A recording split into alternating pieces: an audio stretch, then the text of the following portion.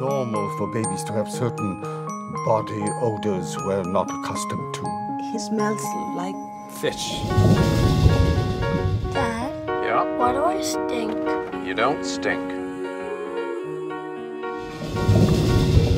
In 1968, when Guillermo Garibay moved here. You can take a picture if you want. he refuses to leave the bathroom, I think he figured out that's the only place he doesn't smell.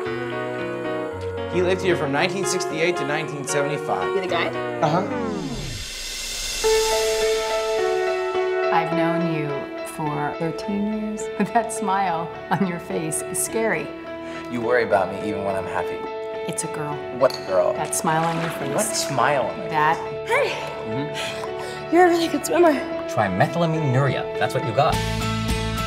It's known as fish odor syndrome. You'll be happy to know it's a very rare disease. So happy. Change my diet. That's all I can do. I don't see any bright side. It helps to have answers. It helps to confirm I'm a fucking freak. I've told you so many times, we all have our little quirks. And it is those quirks that make each of us unique.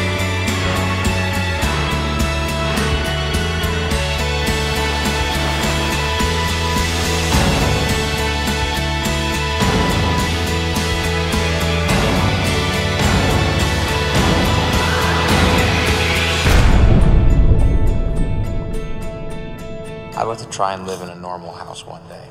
Oh, I love your house. It's unique.